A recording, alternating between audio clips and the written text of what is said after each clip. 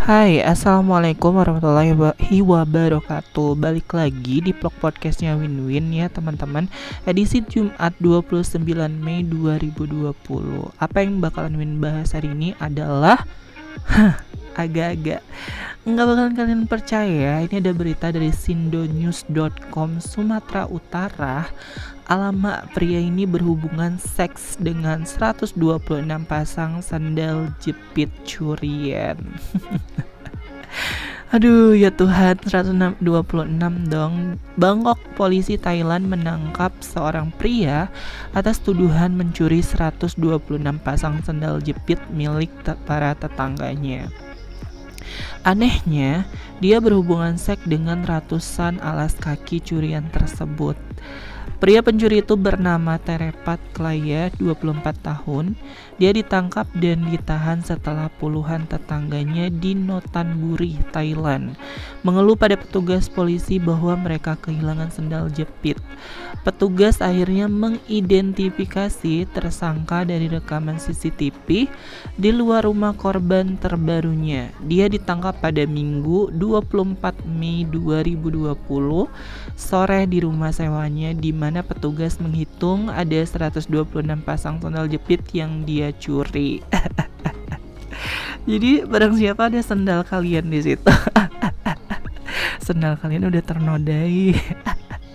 Untung sendal. Tapi untungnya sendal ya, tidak nggak boleh. Mm -mm.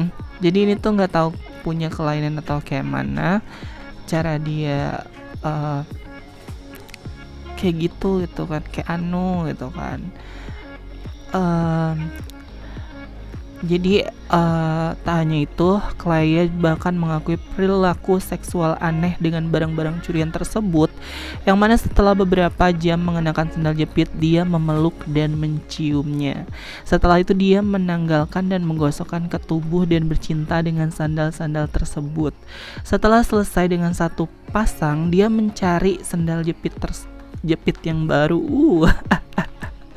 Koleksi alas kaki curian dia kumpulkan selama lebih dari dua tahun termasuk lusinan merek lusinan merek, ukuran, dan warna yang berbeda. Semua dari barang curian itu sudah dia kenakan.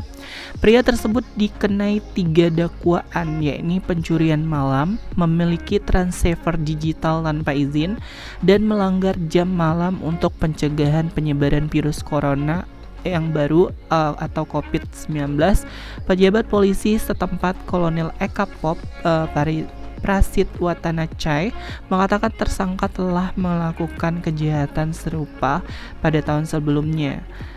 Setelah kami menangkap tersangka, kami juga mengetahui bahwa dia telah ditangkap tahun lalu karena mencuri sendal jepit di distrik lain. Ujarnya seperti dikutip di New York Post Post Rabu 27 Mei 2020.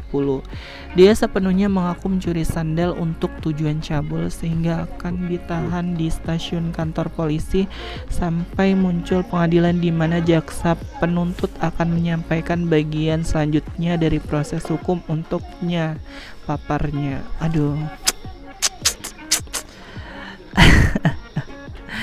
Aneh gak sih guys? Hmm, Oke, okay, sampai gitu aja uh, video win-win hari ini. Hmm, sampai jumpa di video selanjutnya. Wassalamualaikum warahmatullahi wabarakatuh.